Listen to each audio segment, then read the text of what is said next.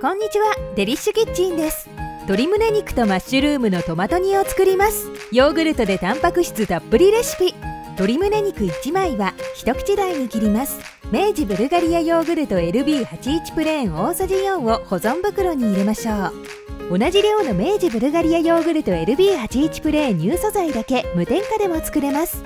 塩小さじ3分の1を加え胡椒少々を振り混ぜます。鶏肉を加えて揉み込みましょう。ヨーグルトに漬け込むことでよりしっとり柔らかくなります。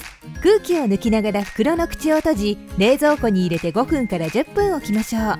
冷蔵庫で一晩つけるとよりしっとり柔らかくなります。玉ねぎ1分の1個は1センチ幅に切ります。マッシュルーム8個は縦半分に切りましょう。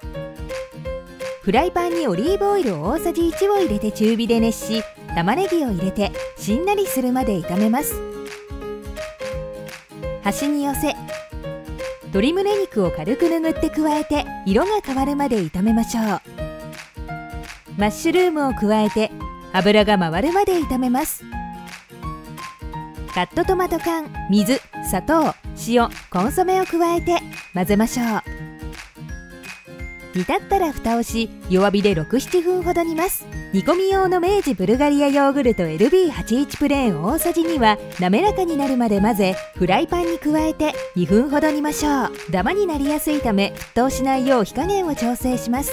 仕上げ用の明治ブルガリアヨーグルト LB81 プレーン大さじ2は滑らかになるまで混ぜ器に盛ったトマト煮にかけて完成です。ぜひお試しください。以上デリッシュキッチンでした。